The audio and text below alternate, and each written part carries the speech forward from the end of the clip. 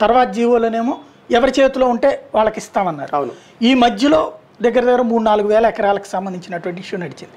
ఇది చట్టబద్ధమేనా? ఎట్లా అవుతుంది? ఇప్పుడు అసలు అసైన్మెంట్ భూమి కొనటం నేరమే కొనటం అమ్మటమే నేరం. అదే నాకు అర్థం కాలే. అంటే వీళ్ళు అనేది ఏంటంటే చట్ట ప్రకారం దాంట్లో చట్టంలో పెట్టేశాం కాబట్టి ఇకేం ప్రాబ్లం లేదంటున్నారు. ఈ prevention of transfer act nineteen seventy seven అని ఒక యాక్ట్ ఉంది సార్ రూల్ సెవెన్. అసైన్మెంట్ భూమి అనేది ఒక కండిషన్ తోటి ఇస్తారు.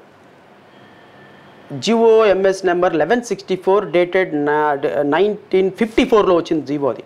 మీరు ఆంధ్రప్రదేశ్ రాష్ట్రంలో ఏ అసైన్మెంట్ అయినా సరే ఆ జివో ప్రకారం ఇవ్వాల్సిందే. నైన్టీన్ ఫిఫ్టీ ఫోర్లో వచ్చిన జివో ప్రకారం.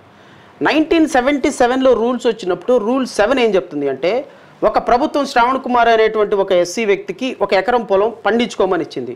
నేను తీసుకుని వెళ్ళి సాయికి అమ్మేసాను ఇది సాయికి అమ్మటము నేరమే నేను మీరు కొనటం నేరమే అమ్మటం కూడా నేరమే. ఈ రెండు ఈ ఇద్దరి మీద కేసులు పెట్టచ్చు ప్రభుత్వం. అయితే దీన్ని లీగలైజ్ చేస్తూ ఒక జీవో ఇస్తే ఆ జీవో ఖచ్చితంగా తప్పే. చట్టబద్ధంగా. చట్టబద్ధం కాదు. ఎందుకు అంటే అసలు రూల్స్ ఫ్రేమ్ చేసినప్పుడు రూల్స్కి కాంట్రారీగా ఒక జీవో ఇవ్వటానికి లేదు.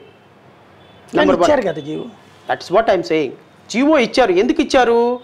ఎవరైతే ప్రజల దగ్గర నుంచి భూములు అసైన్మెంట్ భూములు కొనుక్కొని పెట్టుకొని కూర్చున్నారో వాళ్ళకి బెనిఫిట్ ఇవ్వటం కోసం ఇచ్చినటువంటి జీవో ఈ జీవో.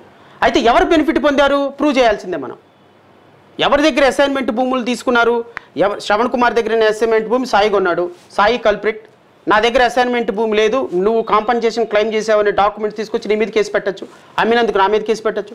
ఎక్స్ వై జెడ్ ఉన్నారు.